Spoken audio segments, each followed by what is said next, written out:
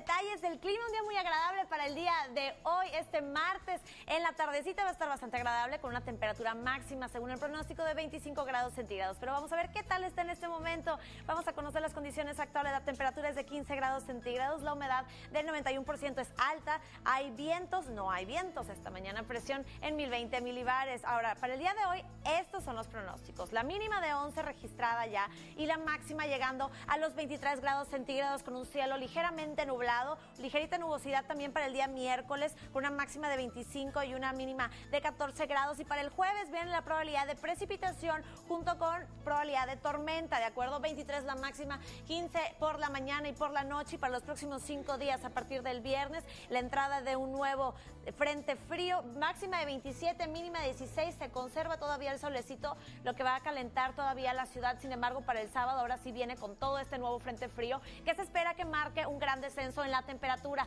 El sábado es la entrada de este frente frío con presencia de lluvia, de tormenta, mucha nubosidad, cielo, cielo completamente cerrado, máxima de 16 y la mínima de 10. Y para el domingo ya viene ahora sí el bajón, que es la mínima de 6, la máxima de 14, aunque se va a presentar un poquito de sol, va a estar bastante frío, sobre todo durante las mañanas y las noches. El lunes y el martes también se espera una nubosidad muy, muy intensa, con máximas de entre 12 y 14 grados y mínimas de 7 y 6 grados centígrados. Así que hay que estar bastante bien preparados para este cambio que viene aquí para toda la zona. Ahora, para toda la República Mexicana continúa la entrada de nubosidad, de entrada de aire por parte del Pacífico, que viene, que viene con todo y que además, bueno, cruza ya hasta el Golfo de México, lo que está permitiendo que todo lo que es el noreste y el litoral del Golfo de México se vea afectado. ¿De qué manera? Bueno, pues con lluvias, la presencia de precipitaciones, además de un sistema de baja presión que cruza o una línea de vaguada, bueno, pues son las que están provocando que especialmente en el estado de Texas, el estado de Tamaulipas y probablemente el estado de Nuevo León se pudieran ver afectados,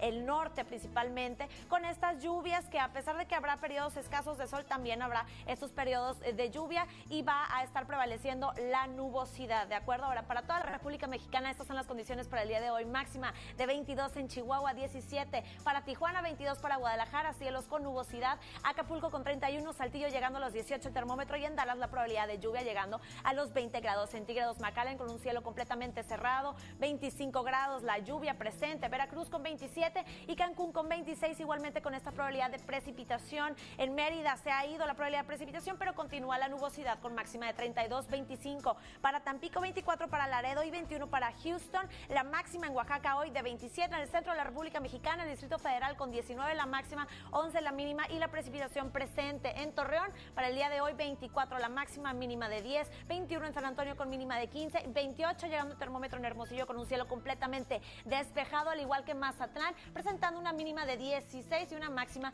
de 28 grados centígrados. La fase lunar actual es un cuarto creciente desde el día de ayer en punto de las 10 con 10 de la noche y la próxima semana esperamos una luna nueva, una luna llena, preciosa, así que hay que estar muy bien preparados. Por mi parte, esto es todo el día de hoy. Nos vemos el día de mañana con más información aquí en las noticias y a usted le recuerdo que por más nublado que parezca el día, para todos sale el sol. Nos vemos mañana. Muchas gracias.